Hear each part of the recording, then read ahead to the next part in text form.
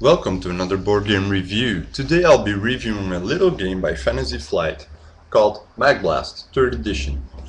It's part of their uh, Silverline games, so it's actually pretty easy to learn to new people. Uh, plays ages 10 and up, 2 to 8 players, playable in 10 to 20 minutes. Some games will go shorter, some games will go longer, depending on um, the, how familiar the players are with the game and their strategy. What you get inside the box, you get a small rule book, which does a pretty good job of explaining the rules to you. Then you get the cards, because it's a card game. You get race cards with all different kind of races. These are your comical sci-fi uh, kind of things. Then you get all your battleships. Your battleships you'll be placing next to your command ship, and your command ship are your alien races. In the beginning of the game, you get to draw six uh, battleships, and you get to keep four. You place them face down, one in each zone. Um, the other two are discarded to the discard pile. Then you have the action cards. The action cards, which is a pretty large deck, form the meat of the game. This is how you will be playing the game. So, what are you going to be doing? You have your command ship, and each alien power you have, like here is the Alpha Amazones, give you a special power that lets you break the rules in some way or another. Three times per game during your attack phase you may play a direct hit effect after a blast without playing a direct hit. So that's a special power for the Alpha zones. Then, when you have your spaceships, they all have different values. As you can see here, this is the movement value. So this means your spaceship gets to move two zones. So during your movement phase, you get to move your ships one, two zones. Not all of them will have a movement value of two. Here, it has the damage value printed on it. This is how much damage it can take before the ship is destroyed. And here are the lasers it can fire. So this ship can only shoot the yellow lasers, which are actually the weakest ones. Here we have the Dreadnought, which has a movement value of 0, but can fire two lasers, the green ones and the red ones, the red ones being the Mag Blast and the most powerful, and it has a damage value of 9. So pretty strong, but you can't maneuver it. The carrier is a special ship, it lets you play squadron cards. Squadron cards I will be explaining later. So, Now we get to the action cards. The action cards, you have a lot of different kind of action cards, but I'll be going over the basics. First off, you have your blast card. So here is a laser blast, which can be played by ships with the yellow laser symbol on them. They do one damage, so if you successfully play a blast card on a ship, you place it underneath there as so to indicate that you dealt one damage to that ship you can only attack ships in the corresponding zone of another player. So if you would be shooting with a ship that is placed in the yellow zone, you can only fire at the opponent's yellow zone. So that's why maneuvering the ships is very important because you're trying to destroy these command ships. That's the point of the game to be the only one left and destroy all the command ships of, of the other players. So that's the laser blast. The beam blast, exactly the same thing, only it lets you fire from ships that can shoot the green lasers and it does 3 damage. The mag blast is lets you fire it from ships that can shoot the red lasers, you deal 5 damage, so it's very powerful.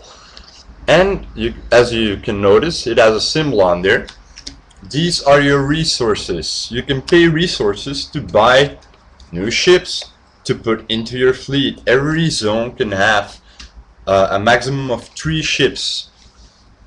The way you do this is by either paying three of the same kind. So as you can see here, you have that rectangle. um, either you pay three of the same kind or three of a different kind and then you get to draw the top card keep it in your hand or play it in a, in a zone you like then we have the direct hit cards. The direct hit cards are something special. The direct hit cards you can play after you play a blast card and let you either play another blast card from the same ship which isn't allowed normally because when a ship fires it can only fire once. But when you play a direct hit uh, card it lets you fire again or lets you play a direct hit effect. The direct hit effect I will read it to you. This one is called catastrophic damage. Direct hit effect. Play on an enemy ship on which you just played a direct hit.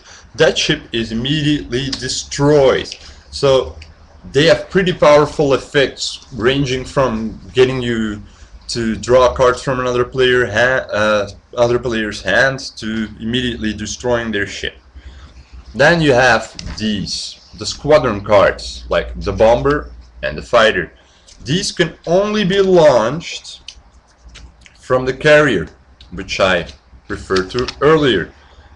You have to have a carrier to launch squadrons. Now, the main difference between the bomber and the fire is the bomber lets you deal 4 damage but um, you can only attack a ship in a same corresponding zone as with the blast rules. The fighter on the other hand lets you attack a ship in any zone.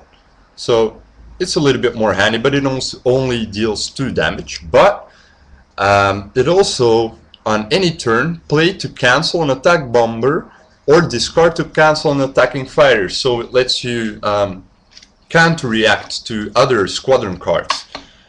Um, they work a little bit different than blast cards in that uh, when you play them they do damage but at the end of the turn they come back to your hand and the damage is gone as well. So if you didn't destroy the ship nothing happened. Here we have an evasive action. You have a lot of different kinds of these. These let you uh, cancel blast squadrons or direct hit effects. So these will let you outmaneuver these. The minefield will let you block another player's zone. So if you play it on the other player's yellow zone those ships can't move or play blast or squadron cards. The asteroid field is the same thing but in reverse. So you place it on one of your zones and nobody can shoot your ships or play squadron ships on uh, squadron cards on your ships. You also have reinforcement cards which let you draw another one of your fleets and like this is one of the many different cards that are in the game is the ramming speed it lets you uh, ram the other player and deals the movement value as damage. So it's a pretty desperate thing to do, but if it will uh, give you that one point you need, it's a pretty good card to play. So, what do I think about the game overall? The game is pretty simple. The only thing that I don't like about it is the artwork. I'm not a big fan of John Kovalic. I did like Munchkin a little bit, but I'm not the biggest fan. My girlfriend likes it a lot, but I don't. I would have preferred the second edition, but I couldn't get it anywhere. Um, that being said, I don't play with the special rules that make you do special noises whenever you hit uh, another ship or it misses. Uh, but all in all, it's a very, very, very fun game, which I do like to play a lot of times with a lot of different people. It's very easy to teach and a lot of people will get into it pretty quickly. So if this is the kind of game for you, I cannot recommend it enough. It's a really good game. So I hope you enjoy this little review and probably see you next time. Or I hope so. Bye.